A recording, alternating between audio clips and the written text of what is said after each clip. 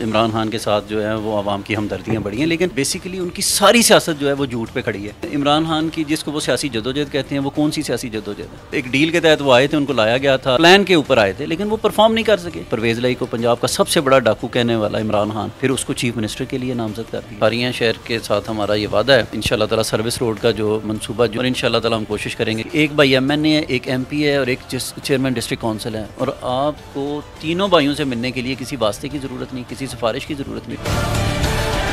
मेरे साथ मौजूद हैं सबक M P A Chaudhry Shabbir Ahmed Kotla sahab. इनसे बात करेंगे। अस्सलाम वालेकुम सर। जी वालेकुम अस्सलाम बहुत सर बहुत शुक्रिया न्यूज़ अलर्ट को टाइम देने का।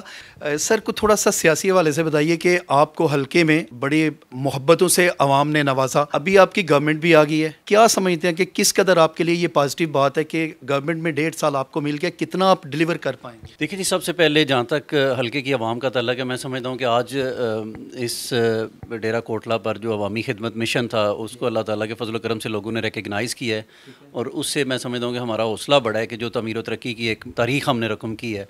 और उसी को लेकर अलहमदिल्ला मैं अपने नए हल्का लाला मूसा में गया हूँ और वहाँ से भी अल्लाह ताला का शुक्र है कि लोगों की बेपना मोहब्बत और उनका अतमाद मिला है। इन शाला उसको लेकर आगे चलेंगे। जहाँ तक आपने ये बात की कि हमें जो साल, डेढ़ साल जो आप फरमा रहे हैं, हम ये भी नहीं पता कितना अरसा है। लेकिन जो भी टाइम हमें मिला है, बहुत मुश्किल टाइम है और बहुत बड़े चैलेंजेस हैं। क्योंकि कुछ चीज़ें ऐसी हैं कि आप हकीकत से आँखें नहीं चुरा सकते चाहते हुए भी। तो मैं समझता हूँ कि ये एक बहुत बड़ा चैलेंज है, जो ना सिर्फ़ पी एम एल एन ने, बल्कि पूरी पी डी एम की जो तमाम सियासी जमातें हैं, उन्होंने ये एक बहुत बड़ा चैलेंज जो है उसको कबूल किया और वो इस वजह से किया है कि हालाँकि अगर देखा जाए तो जहाँ पे साढ़े तीन साल गुजर गए थे अगर डेढ़ साल और भी गुजर जाता तो कोई इशू नहीं था। लेकिन मुल्क के लिए जो जिस तरफ़ इमरान न्याजी की हुकूमत जो मुल्क को लेके जा रही थी मैं वो समझता हूँ कि वो हमारे लिए बल्कि आने वाली नस्लों के लिए और पाकिस्तान के पाकिस्तान का जो आप जोग्राफियाई सरहदों का तहफ़ जिसको कहते हैं जो आप सोवरेनिटी कहते हैं वो उसको वो कम्प्रोमाइज़ हो रही थी। हमारी सालमियत कंप्रोमाइज़ हो रही थी हमारी खारजा पॉलिसी जो है वो कंप्रोमाइज़ हो रही थी। तो बेसिकली ये जो इकदाम किया गया है तमाम सियासी जमातों की तरफ़ से ये पाकिस्तान को बचाने के लिए और एट लीस्ट हम ये समझते हैं कि वो मज़ीद तबाही जो इमरान न्याजी की हुकूमत ने करनी थी, कम अज़ कम उससे बचाने की हम पाकिस्तान पी टी आई की तो मौजें लग गई हैं, इसमें वो पॉपुलर हो गए हैं। पाकिस्तान में आपको वैसे पता है कि सैम्पति का कितना मामला होता है कि हमें वो उनके सपोर्टर कह रहे हैं कि दो घंटे के अंदर अंदर पकड़ के हमारे लीडर को एक साइड पर कर दिया तो उनका तो क्राउड भी बढ़ गया है। साढ़े तीन साल तक जो वो परफॉर्म कर सके, आपको पता है, सबको पता है। लेकिन इसके बाद अब तो वो जलसे करेंगे, खुल खुला के अपने वोटर, सपोर्टर पक्के करेंगे। क्या समझते हैं? जल्दी नहीं होगा थोड़ा नहीं, देखें वही अगेन मैं वही बात जो मैं उसको रिपीट नहीं करना चाहता। कि देखें अब पाकिस्तान की बका की बात थी। अब इससे कता नज़र के इमरान न्याजी कितना पॉपुलर है, वो कौन सा बयानिया लेके आया वो बयानिया आपने देखा है कि दूसरे जलसे में वो जो है वो वो जाता रहा आज पाकिस्तान के अंदर हमें जमहूरीत की बका के लिए और आने वाली नस्लों के रोशन मुस्तबिल के लिए इस फ़ेज़ से गुजरना था। ये एक माइंड सेट है, ये फैशिज़म है जो आपको नज़र आ रहा है। देखिए इमरान खान और उसके फॉलोअर्स कौन लोग हैं? हमारे हैं ओवरसीज़ के अंदर बेशुमार लोग हैं, लेकिन जब आप उनसे लॉजिकल बात करते हैं, जब आप उन, उनसे उनके पास उनके पास डिफेंड करने के लिए कुछ नहीं है मास वाइज के।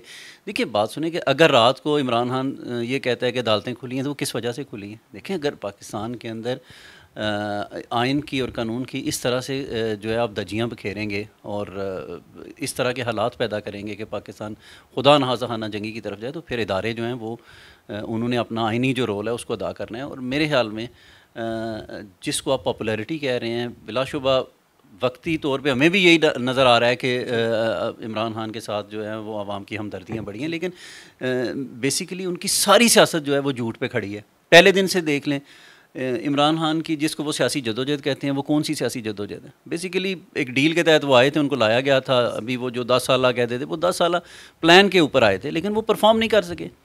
देखिए लोग आपको अतमाद आप पे अतमाद करते हैं। जिस तरह हमारे आप, आपकी मिसाल आपके सामने हमारी मिसाल। हमें 2013 के इलेक्शन में हम दोनों भाई पहली दफ़ा इलेक्ट हुए और आज हल्के की हल्के के हालात देख लें। किसी भी शोबे के अंदर दे मैं अक्सर बात करता हूँ मुझे लोग मुझे मेरे दोस्त कहते हैं आपने रोड्स बड़े अच्छे बनाए। मैंने कहा जी नहीं रोड्स नहीं अगर हम अपग्रेडेशन ऑफ़ स्कूल्स की बात करें प्राइमरी और बेसिक जो एजुकेशन की बात करें तो हमारे thirty two upgradation of schools हैं। हायर एजुकेशन के हमारे चार बड़े मंसूबे हैं। गर्ल्स डिग्री कॉलेज कोटला के अंदर एडिशनल ब्लॉक है, जिसने कैपेसिटी को डबल कर दिया और इस वक्त अलहमदिल्ला हमारे पास 2200 की कैपेसिटी है। आपके शहर, खारियाँ शहर के अंदर। ये वो चीज़ें जो नज़र आ रही हैं गर्ल्स डिग्री कॉलेज के अंदर। जब मैं पहली दफ़ा एम पी इलेक्ट होने के बाद गया, वहाँ पर मुझे प्रिंसिपल ने बताया कि खारियाँ शहर के हर साल जगह ना होने की वजह से हम इनरोलमेंट नहीं कर सकते कर सकते और बच्चियाँ जो हैं वो टुवर्ड्स सराय अलमगीर और डिंगा साइड पे जो है वो एजुकेशन के लिए जाती हैं।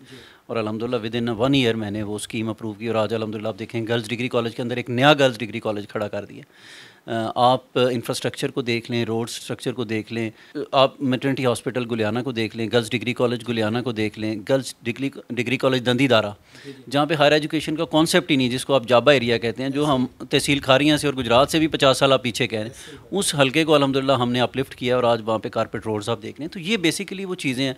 आप टी एच क्यू खारियाँ के अंदर देखें आप gradation of T H Q देख लें कि हम वो हॉस्पिटल जिसके अंदर 6000 की ओपीडी थी हम उसको 32,000 पे लेके गए। और 32,000 की ओपीडी में एक आदमी भी ऐसा नहीं था जो कहता था कि मेरा एक रुपया भी हॉस्पिटल्स के अंदर मेरा खर्च हुआ है। फ्री मेडिसिन हम देते थे। एडिशनल जो फंड्स एलोकेशन सीएम से स्पेशल करवा के हमने वहाँ पे तो ये लोगों को फैसिलिटेट किया। हर शोबा के अंदर आपको काम नज़र आया। देखिए जब आप जब आप सेलेक्ट किए जाते हैं तो फिर यू आर सेलेक्टेड तो आप सेलेक्ट होकर परफॉर्म नहीं कर सके तो इसलिए आपका रहना मुश्किल था इकतदार में और आपको आइनी तरीके से हटाया गया। इसमें कौन सी गैर आइनी बात है?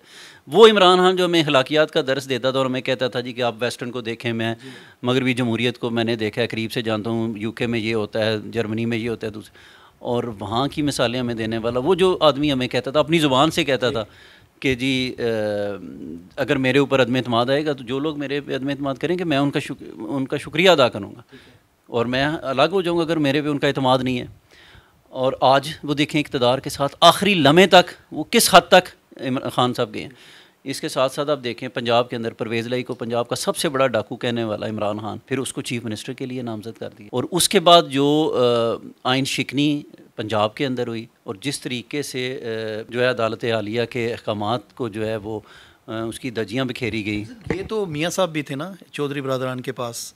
उस दिन भी बड़ा एक अजीब सा दिन था। नहीं मैं और जब जिसकी डील हो गई अब जारी बात है सियासत है हर बंदा अपनी देखता है अपने वोट से तो ये कहते हैं जी कि ठीक है सियासत नाम है कंप्रोमाइज़ का। माजी में एक दूसरी सियासी जमातों के ऊपर कीचड़ उछाला जाता है। इसमें कोई शक नहीं है। हम भी अपने सियासी मुखालफी के कभी आप जलसों के अंदर ऐसी इमोशनल गुफ्तु हो जाती है और कभी आप ना चाहते हुए भी आपके मुँह से कुछ ऐसे अल्फाज अदा हो जाते हैं लेकिन इस मुल्क के अंदर रहने के लिए इस कल्चर को आगे लेके क्योंकि एक बात तो तय है और इसी चीज़ पे अब मेरे ख्याल में कौमी सलामती के और दीगर तमाम इदारे पाकिस्तान के इस बात पर उनका कंसेंसस हो गया है कि जमहूरियत जैसी भी है, इसको आगे चलना चाहिए। क्योंकि उसके बगैर पाकिस्तान आगे नहीं बढ़ सकता। ठीक है, चौधरीों के साथ सियासी इख्तलाफात मौजूद थे, लेकिन मैं तो उस लीडर की बात कर रहा हूँ कि जो कहता है कि मुझे तो इस वजह से सज़ा दी गई है कि मैं एन नहीं कर रहा था, मैं ये नहीं। उसी आदमी के मुँह के अल्फाज हैं ना कि परवेज़ लाई पंजाब का सबसे बड़ा डाकू है। ये मियाँ शबाज शरीफ ने तो नहीं कहा हमारे चौधरीों के साथ बेपना इख्तलाफात हैं। कल को हम डिसीज़न मेकिंग की पावर में होंगे और हम ये फैसला करेंगे तो फिर लोग सवाल तो पूछेंगे। सर ए, पिछले साढ़े तीन साल से गुजशत गवर्नमेंट जो थी खारियाँ शहर को एक लॉलीपॉप देती रही है। सर्विस रोड और उसके अलावा ओवर हेड ब्रिज आपका दौर आया है लोग हल्की फुल्की पोस्टें कर रहे हैं। क्या आप समझते हैं कि इनका हक है कि नहीं है? देखिए मुझे तो खुशी होगी कि जब मुझे ये लोग बताएँगे क्योंकि मैं सोशल मीडिया पे उस तरह से क्योंकि टाइम भी नहीं होता और मैं उसको फॉलो नहीं कर पाता। लेकिन मैं टू बी ऑनेस्ट बताऊँ कि खारियाँ शहर अभी आपने जैसे देखा कि खारियाँ शहर के सबक हमारे काउंसलर्स और आ, हमारी team P M L N की यहाँ पर मौजूद थे। तो ऐसे ही बातों में ज़िक्र हो रहा था तो इसी तरह की एक सिटिंग नशस्त हुई थी स्काई वेज पे सैयद ज़ियाउल्ला शाह साहब की तरफ़ से। तो वहाँ पे मैंने ओपन रखा था मैंने कहा जी जो जब से पाकिस्तान बन बना है सत्तर साल का रिकॉर्ड निकाल लें यहाँ पे बड़े बड़े लोग एम एन ए भी रहे हैं मतलब के सदर पाकिस्तान के उहदे पर भी रहे हैं। लेकिन कामों की जब मैंने तफसील बताई तो उस उस पर किसी के किसी को उसको डिनाइल करने का हौसला नहीं है क्योंकि वो चीज़ें ऑन ग्राउंड है। मैं थोड़ा सा उसका बैकग्राउंड आप आपके सवाल के हवाले से बताना चाहता हूँ। देखिए खारियाँ जब मैं इलेक्ट हुआ एम पी ए और आबिद रज़ा साहब हुए सबसे पहले हमने सिटी डेवलपमेंट पैकेज के नाम से तेरह करोड़ की एक स्कीम लेके आए। जामिया स्कीम थी, जिस जितनी एडिशनल इजाफी आबादियाँ थी, उनके अंदर वाटर सप्लाई की फरहमी, उनके अंदर पानी की निकासी का मसला, गलियाँ पक्की करवाना, उनके अंदर जितने इलेक्ट्रिसिटी के रिलेटेड मसाइल थे ट्रांसफार्मर्स के थे वो हल हुए। मतलब तमाम इश्यूज़ पे हमने सुई गैस की जितनी इजाफी आबादियों के पाइपलाइन थे वो हमने मुकम्मल करवाए। ट्यूबवेल जो आपको भी पता है पानी का मसला है खारियाँ शहर के अंदर उसके लिए अलग से टर्बाइन लगवाई गई। वो एक हमारी स्कीम थी। उसके साथ साथ हमने स्लाटर हाउस का जो हमारा मंसूबा है, जो एक मॉडर्न स्लाटर हाउस हमने थपला पे दिया और खारियाँ शहर के वस्त में जो जितना गंदगी थी जितने जानवर ज़बा होते थे शहर के लिए, वो सारा बाहर हमने शिफ्ट किया। टी एच क्यू खारियाँ की अपग्रेडेशन देख लें। उसके साथ साथ खारियाँ में आप जीटी रोड के ऊपर देखें तो मैं अक्सर कहता था कि एक हमारा तहसील हेडकोार्टर है और हमारे पास बच्चों के लिए एक एक छोटा सा पार्क भी नहीं।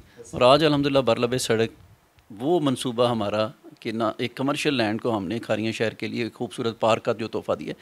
ये इसके साथ साथ आपका दरीना मुतालबा जो था वो स्पोर्ट्स का वो मेरी भी ख्वाहिश थी। वो हमने कोशिश की हमें जगह ना मिली और फिर आ, लैंड एक्विजिशन के लिए पाँच करोड़ रुपया मेरे दौर में असिस्टेंट कमिश्नर खारियाँ के पास आया। लैंड एक्विजिशन का सारा प्रोसेस कंप्लीट हुआ थपला के ऊपर। और वो फिर अनफॉर्चुनेटली हमारे हुकूमत के आखिरी एजाम थे और वो पाया तकमील तक नहीं पहुँचा और फिर वो फंड्स किस तरह से लैप हुए वो मैं समझता हूँ जो हमारे आने के हमारे बाद जो गवर्नमेंट थी उसको चाहिए था कि वो उस प्रोजेक्ट को आगे लेके चलते क्योंकि वो ऑन गोइंग था। इसी तरह service road Kharian. Service road Kharian ना सिर्फ़ अप्रूवल हुई। चौदह करोड़ ना सिर्फ़ उसकी अप्रूवल आबिद रजा साहब ने करवाई थी बल्कि उसका टेंडर हो गया। आपने देखा होगा कि मशीनरी मूव होगी। आपने ये भी देखा होगा कि खारियाँ कैंट के पास मशीनरी ने काम शुरू किया था थोड़ा सा। उसके बाद वो काम रुक गया। ये सारा ऑन पेपर्स है। सैद ज़ियाउल्ला शाह साहब ने भी फॉलो किया और हमारे दोस्तों ने भी आज पीपल्स पार्टी वाले भी हमारे साथ कोलेशन में गवर्नमेंट में है। ये सारा process standard process Abid Raza sahab ने करवा दिया और कॉन्ट्रैक्टर जो है वो उसने इक्विपमेंट मूव कर लिया और उसके बाद वो फिर स्कीम रोकी।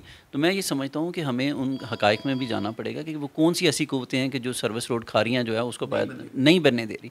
किन के फाइनेंशियल इंटरेस्ट हैं कमर्शियल इंटरेस्ट हैं। तो इस वजह से इन ताला भरपूर जब हमें मौका मिलेगा तो खारियाँ शहर के साथ हमारा ये वादा है। इन ताला सर्विस रोड का जो मंसूबा जो कि आबिद रज़ा साहब ने ही उसको हकीकी मानों में ऑन ग्राउंड लेके आए थे और इन ताला हम कोशिश करेंगे कि वो इलेक्शन की क्या तैयारियाँ आपकी बताएँ देखें जी आ, मैं अक्सर कहता हूँ कि हम तो थ्रू आउट इलेक्शन में ही हैं क्योंकि पाँच साल से हम आ, उसी इसी रूटीन में हम नॉर्मली काम करते हैं और इसी में अपोजिशन में किया और, और हुकूमत में भी इसी। क्योंकि देखें जो हकीकी मानों में जब आप कहते हैं सियासत को आप अवामी खिदमत का दर्जा दें तो उसकी मिसाल अगर आपने देखनी है तो यहाँ पे आके देख लें जहाँ पे अलहमदिल्ला माजी में हमने इस चीज़ को प्रूव किया है कि एक भाई एम एन ए है एक एम पी है और एक चेयरमैन डिस्ट्रिक्ट काउंसिल है। और आपको तीनों भाइयों से मिलने के लिए किसी वास्ते की ज़रूरत नहीं किसी सिफारिश की ज़रूरत नहीं। देखिए वो जो एक गैप था जो पॉलिटिशियन के और आम आवाम के दरमियान हमने उसको ख़त्म किया है। अब लाला मुसाब ले लें। पहली दफ़ा मैं इस तरह के सिटी में गया हूँ जिस जहाँ पे आपने देखा इतना बड़ा वोट बैंक है और इतनी जो पॉपुलेशन है।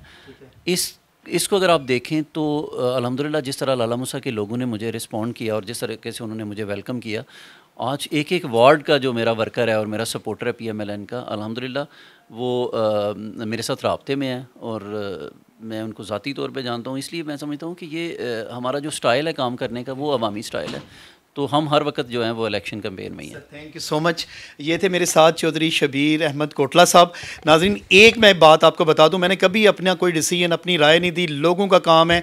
आ, अगर ये इन पहल माजी की तरह बेहतरीन डिलीवर करेंगे तो इन अल्लाह सुबहाना तला इलेक्शन की सूरत में पहले भी इनको इज़्ज़त दी दोबारा भी इन इज़्ज़त अल्लाह पाक इनको देगा ये काम।